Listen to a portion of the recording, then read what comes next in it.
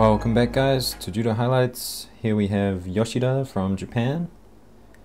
And just as a side note, when was the last time you saw Japanese judoka at a judo event?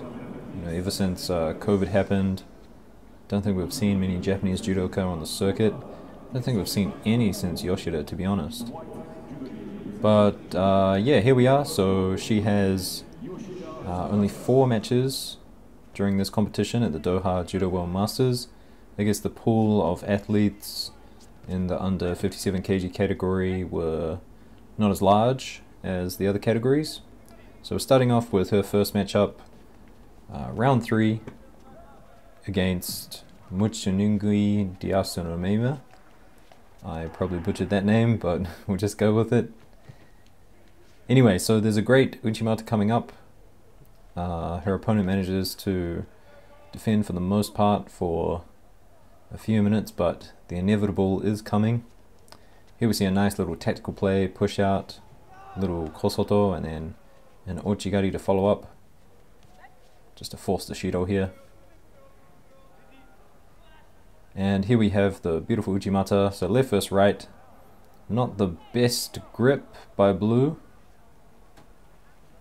allows Yoshida to just come in there with a lot of speed, a lot of lift on the leg, and it's scored an ippon.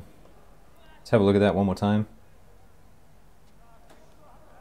So she's got a strong sleeve grip, moves into it, great lift, and it could have been a wazari, but ends up being scored a, an ippon. Moving on is the quarterfinal, her second fight of the day against the Israeli, Nelson Levy Timna. It's a much easier name to pronounce.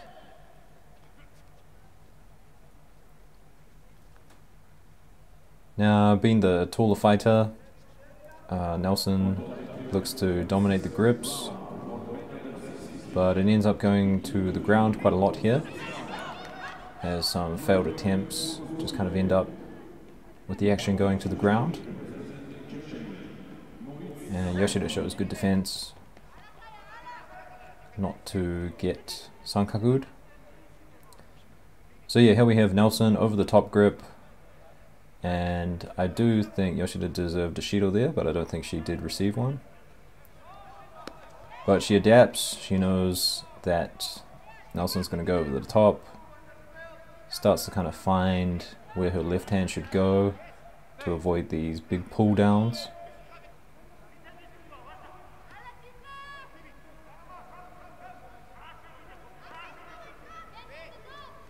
There we go, so she's grabbing the sleeve first now, starting to attack off the sleeve instead of worrying about that left hand. She realizes that she needs to go first. Over the top again by Nelson. And once she does that, Yoshida's going straight in, and a nice little trip there. No score, but it's just sending a message, hey, if you're going to go over the top, I'm going to start attacking. Now change the directions with the Sode. No score though. And a nice Uchimata attempt just on the bell, but as I said, Nelson's the taller player, and it's a bit difficult to get the lift needed for the Uchimata there. Kataguruma attempt, which I've never seen from Yoshida before, but nothing wrong with adding new tools to the toolbox. And goes to the ground, but Yoshida gets up again and stabs in with a little Uchimata. And here we have the end of the bout, so as I said, Yoshida kind of figures out how to deal with that over the top grip. Now she's grabbing just slightly above the belt, gets close enough, finds the lift, and over to get the score and win the match. And that moves her on into the semi-finals where she is against Gjakova Nora from Kosovo.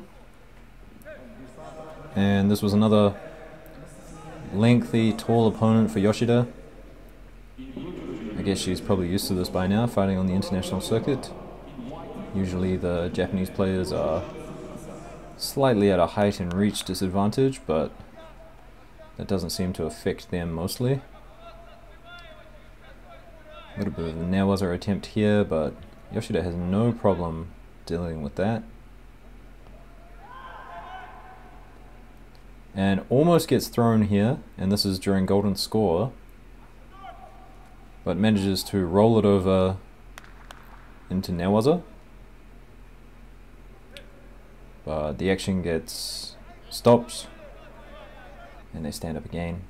But I think this gives Yoshida an indication that, okay, hey, I can go to the ground, and I'm probably gonna be better at Newaza than this person, so I'm gonna try it. And what happens here is the ref gets in the way of the camera. So thank you, ref. Maybe you could just move a little bit. But yeah, foot trip leads to the ground, and then Yoshida kind of gets the feeling that you know she can she can roll this person over and secure a pin.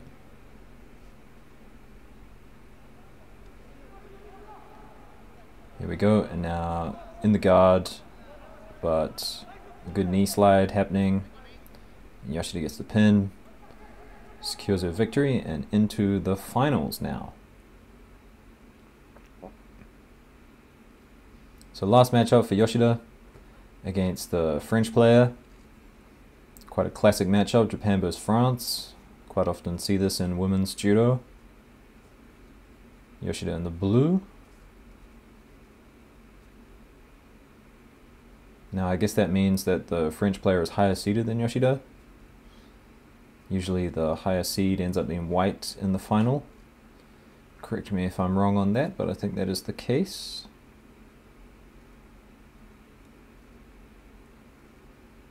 So what happens here is they both have pretty good defense and know what kind of attacks each one is going to do. So Yoshida ends up trying all sorts of attacks, as well as the French player. So a nice double hand on the sleeve, little Ouchigari attempt there. Probably not going to lead to a throw, but just shows that you're being not passive. And the French women's team, they really love their Osotogaris. Nice sort of attempt here.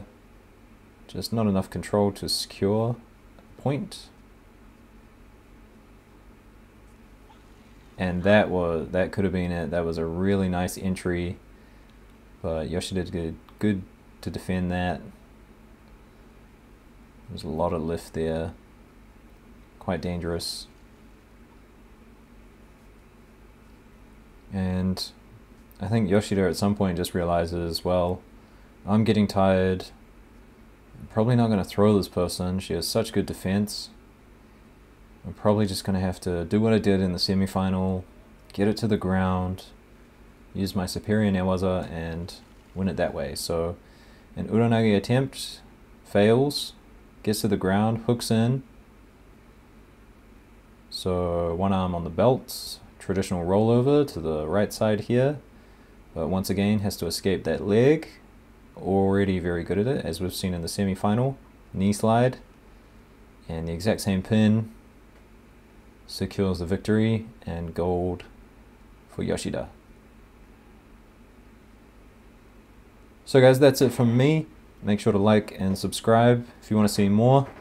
I would like to put out more women's videos, but I'm probably just going to do uh, the, the more popular fighters in the women's category. I'll do all the men's, but uh, just the way YouTube works with the algorithm and time constraints and whatnot, I think I'm just going to do the popular fighters for the women's.